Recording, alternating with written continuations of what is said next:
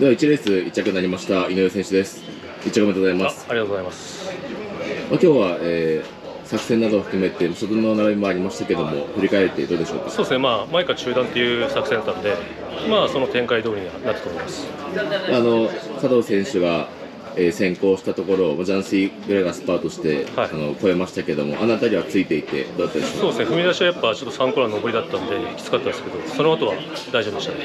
ホーム前のあたりではあの牽制などもありましたけどもあのはい辺っていうのはどうでしょう、いやーなんかみんな来そうな感じだったんで、まあ、そこだけしのげばっていう感じで頑張りました。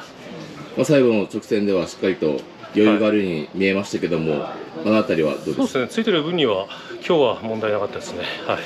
ここに向けてっていうのは何かありましたでしょうか？いやまあ直前ちょっと怪我してあんま納得のいく練習できてないんですけど、まあ普段やってるんでそれがいい球になってるのかなって思って頑張りたいです。ちょうど力も抜けてい。いのかなっていう感じ、そうですねはい。この後っていうのはもうしっかりと休むって形ですかね？そうですねはい。整えたいです。